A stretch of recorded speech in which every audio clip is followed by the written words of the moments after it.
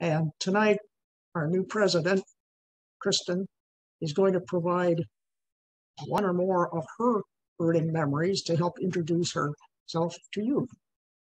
Thanks, Joe. Um, um, just a quick memory of my first bird walk with the club. This was at um, the Alpha Ridge landfill in 2018. And I never thought my first official bird walk would be at a landfill.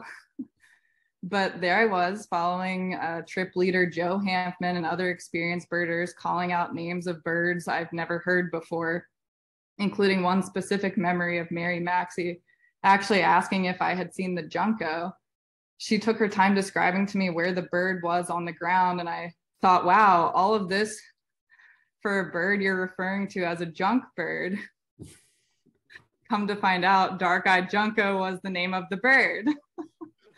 so, uh, so that was four and a half years ago, and the rest is history. That's my short, uh, my short memory.